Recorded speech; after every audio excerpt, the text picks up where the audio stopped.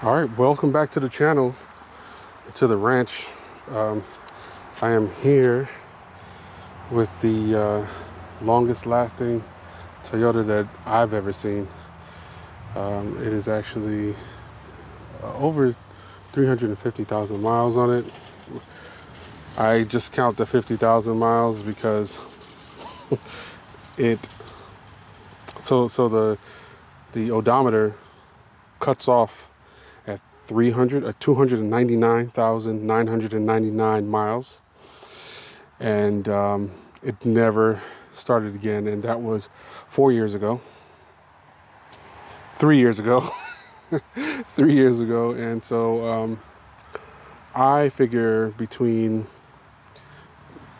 Tam- Tampa, Tallahassee, uh, Virginia, New York. I've done about 50,000 miles in those three years. Um, could be less. So we'll just call it like over 30,000 miles. So, um, anyway, I want to uh, show you guys something else. So let me bear with me while I get this this camera set up.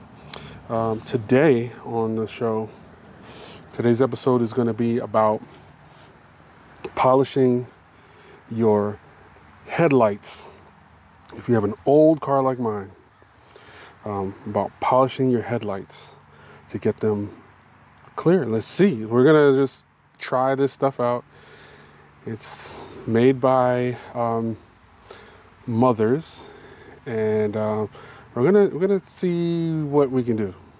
I started one but I'm to show you everything from the beginning because uh, it wasn't that difficult. And all right, enough about me. Let's get it cracking.